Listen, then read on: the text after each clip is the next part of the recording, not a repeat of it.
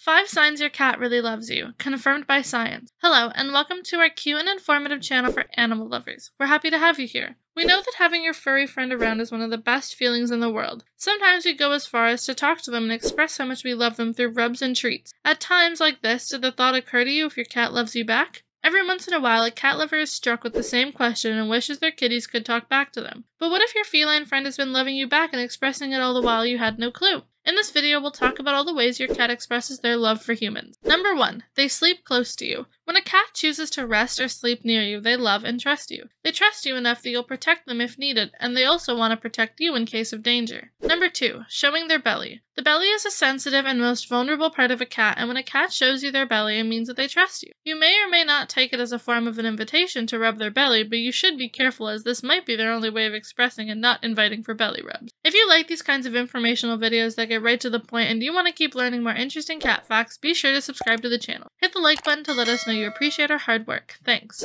Number 3. Slow blinking. The eyes say it all. The felines also use their eyes to show their love when they look at you in the eyes and blink slowly. It is like a direct way of saying, I love you. You can also return the favor by looking back into their eye and blinking slowly. Number 4. Grooming. Grooming is the part of a cat's daily routine, and if they lick you, it is to show affection and build a bond with you. They groom their feline friends to show the same affection and love in their kittenhood to build a bond between them. Number 5. Greeting. When a cat waits at the door and goes under between your legs to rub and curl its tail around, it shows how glad they are to have your back. It is one of the most direct forms of showing affection. They only do it when they've missed through, through your absence. Show and love your kitty now that you know that they love you back as much as you do. Comment down below if you know any other ways which a cat shows their love to a human buddy. Have a great day and see you in the next video.